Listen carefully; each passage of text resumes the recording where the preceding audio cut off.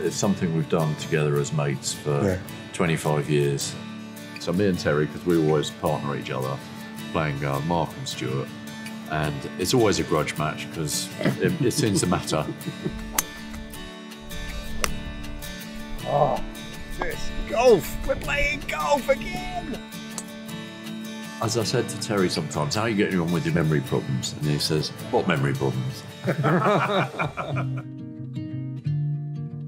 I think golf means that Terry gets to do stuff that's normal that he's done for the last 25 years and even before that when we've lived elsewhere. Yeah. So it's been a big part of, of, of your life and it's Mm. just great that you can still play. What do you like best about golf? Well, I just like winning. Yeah, I do. That's true. Terry going out to play golf, it's a good sort of four or five hours that I get. So that gives me a chance to kind of catch up with stuff at home, catch up with friends, go out and have coffee and stuff and do the sort of normal things. How you doing, guys? All sorted? Yeah. Right. Right. We're going to go and put our shoes on. Yeah. It's just great to be outdoors. You get something like an eight-mile walk for a, a good round of golf with your friends, doing something sociable that's energetic. All those things are really good for you, whether it's physical or mental. Oh, shot, Terry! Look at that.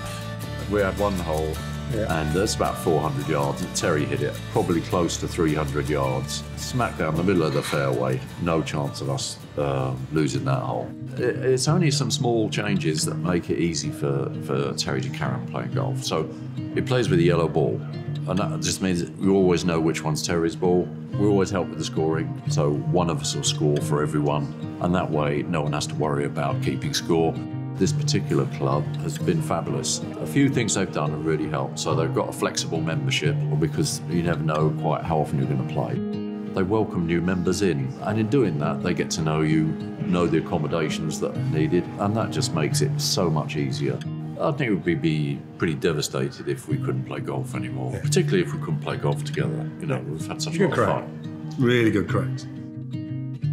When you get older, so you have to think about what's happening now and then moving forward. And if you can do that and look after yourself, enjoy it.